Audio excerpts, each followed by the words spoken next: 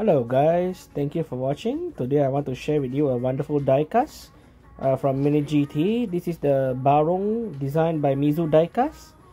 Have a look. This is the back of the packaging. Uh, you can pause the video if you want to see what's the detail at the back of the card.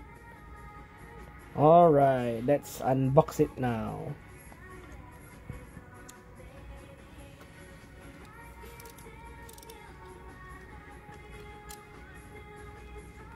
I'm very happy to receive this diecast, you know, I'm waiting some time for to get it, but finally it came. So let's unbox it and have a look.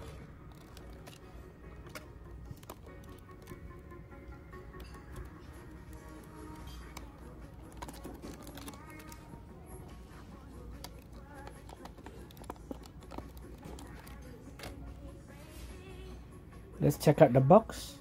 Wow, the box art is so nice. Metallic red finish, number 651. Liberty Walk. It's an official licensed item from Nissan. Alright, let's look at the car this time. Woo, nice.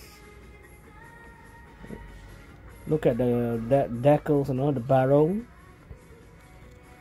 The wheels in gold is sick, man. The front lamps in yellow. Check out the carbon hood. The roof also is carbon, you know. The details on this car is excellent. Everywhere you can see details.